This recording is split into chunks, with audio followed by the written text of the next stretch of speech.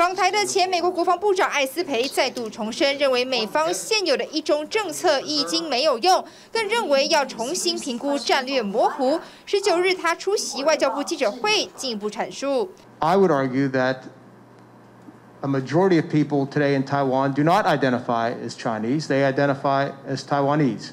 认为四十年前的政策现在不适用，更痛批北京刻意的模糊手法。It's tried to identify one China policy to look like its own one China principle, and we reject that because I'm not sure that the one China policy as it currently stands is sufficient and sturdy enough to bear the weight of the future policies and strategies we need to pursue.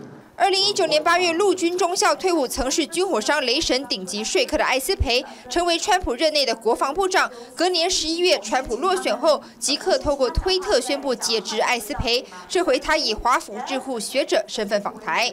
And so we, as a delegation, of course, intend to go back and share the importance of the arms sales, the nature of what Taiwan is requesting, consistent with what the United States is pressing for.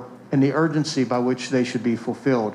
记者会上多次强调，台湾要增加国防预算，购买不对称战力武器，增加兵役时程以及后备战力，更认为这直接影响共军何时攻台。If Taiwan fails to invest in its own defense capabilities, fails to make the necessary changes, and fails to do so quickly, that gets back to my previous answer that weakness will invite aggression.